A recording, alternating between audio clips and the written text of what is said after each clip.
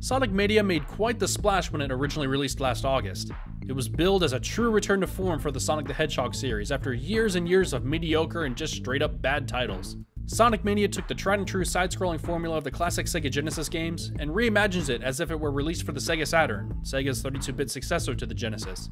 This is a game full of fan service, developed by actual fans, and now the brand new Encore DLC kicks the fan service up a notch.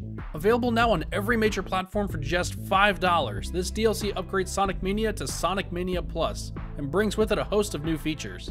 The most notable is the introduction of two new playable characters, Mighty and Ray, two long lost Sonic characters that first made their appearance back in 1993 and have been missing in action for over 20 years. Both Mighty and Ray bring some new signature abilities to the game as well. Mighty the Armadillo can now ground pound after jumping and can withstand spikes when he's rolled up. And Ray the Flying Squirrel is able to glide through the air by swooping up and down to gain momentum. Beyond the new characters, Sonic Mania Plus also brings in the Encore mode, a sort of retelling of the original game's plot that brings Mighty and Ray into the mix. It also shows off a new character swapping mechanic. At any point, you can swap to your partner character to tackle some platforming challenges by using their special abilities.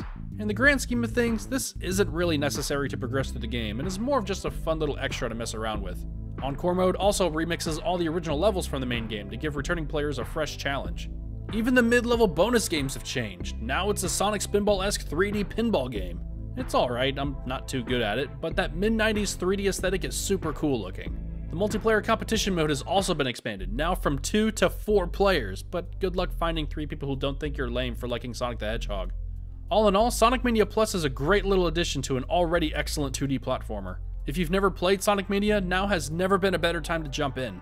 Sonic Mania Plus, which includes the original game and the new DLC, now has a physical retail release in stores for PS4, Xbox One, and Nintendo Switch.